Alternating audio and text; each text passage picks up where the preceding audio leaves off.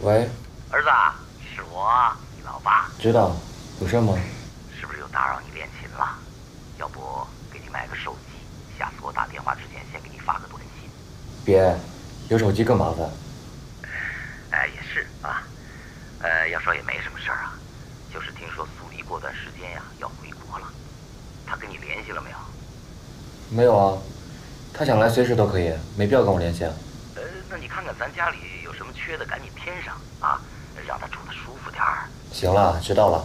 真是想赶回来跟你们聚聚，可惜美国这边啊一堆事儿凑不开。儿子啊，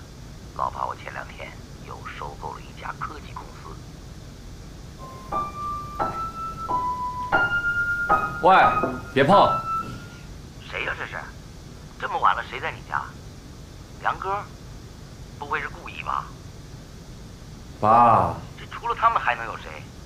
再说你那房子八百年也进不去第三个人，这不会是对，我女朋友。女朋友？我说你什么时候交的女朋友啊？叫什么呀？长什么样啊？今年多大了？小子，你可以呀、但是你刚才的语气这也不对呀、朋友怎么能这么凶啊？爸，我这边已经晚上十一点多了，我们睡了啊，晚安。